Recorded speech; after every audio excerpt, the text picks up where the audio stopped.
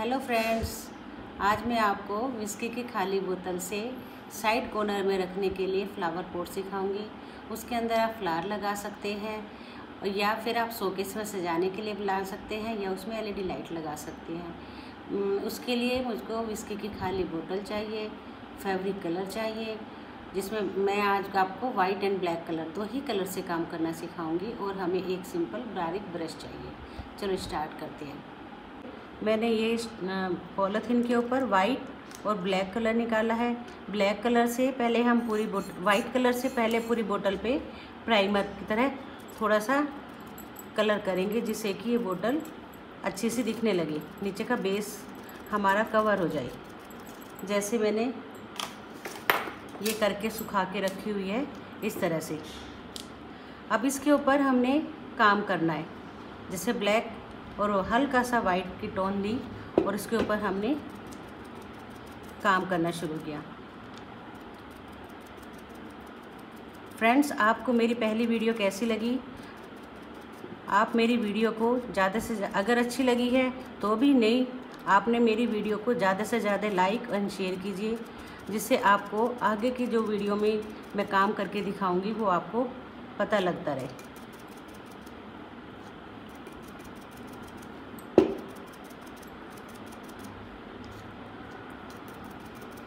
इसमें इसी तरह से लाइट एंड डार्क का कॉम्बिनेशन अपने आप चलता चला जाएगा।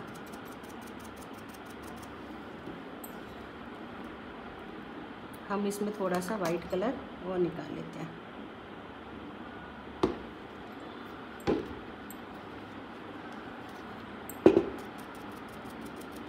इसी तरह, इसी सीरीज़ में आपको डिकोपैस से पेपर मैसी से आपको और भी नई नई चीज़ें बनाना सिखाऊँगी।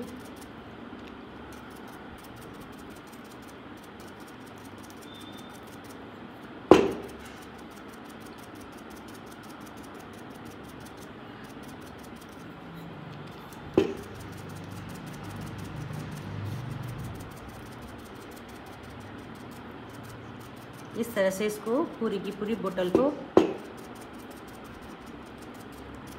इस तरह से लाइट एंड डार्क में कंप्लीट करना है।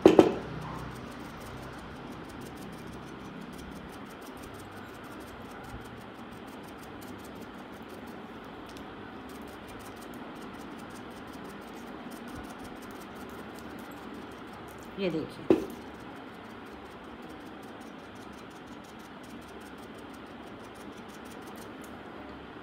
जब ये थोड़ा सा ड्राई हो जाए फिर इसके ऊपर हमने डिजाइंस बनाने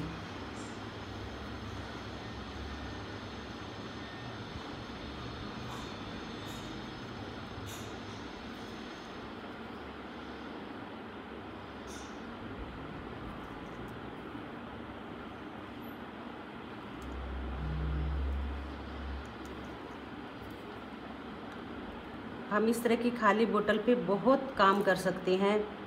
डिको पैच का काम करना सिखाऊँगी, पेपर मैशी का काम करना सिखाऊँगी और भी बहुत कुछ करना सिखाएँगे। इसलिए आप मेरी वीडियो को ज़्यादा से ज़्यादा लाइक एंड शेयर कीजिए, जिससे आपको नई नई वीडियो का पता चलता रहे।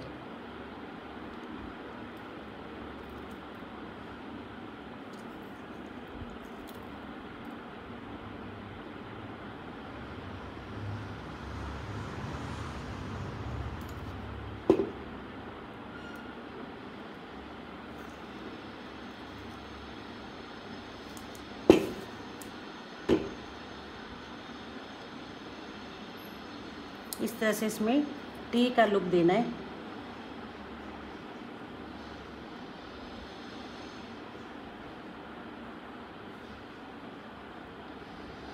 आप फ्री हैंड काम, हाथ चला सकते हैं तो फ्री हैंड कीजिए, या पेंसिल से जब सूखने के बाद बोतल के ऊपर पेंसिल से हल्का सा ड्रॉ कीजिए और उसके ऊपर आप काम कर सकते हैं।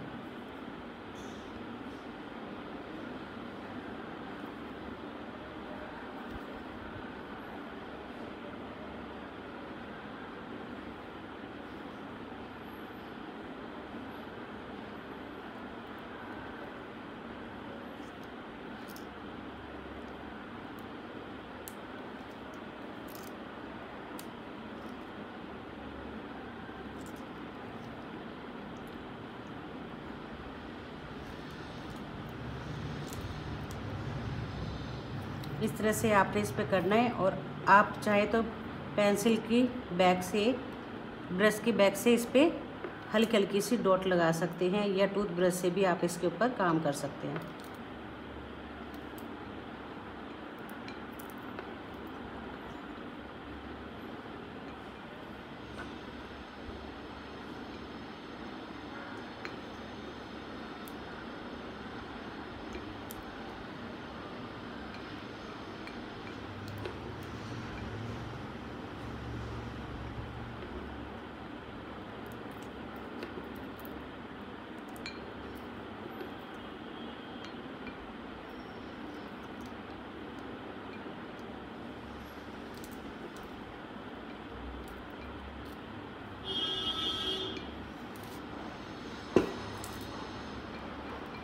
सो so फ्रेंड्स कैसी लगी आपको ये मेरी एक्टिविटी अगर अच्छी लगी है तो आप इसको ज़्यादा से ज़्यादा लाइक शेयर ज़रूर कीजिए।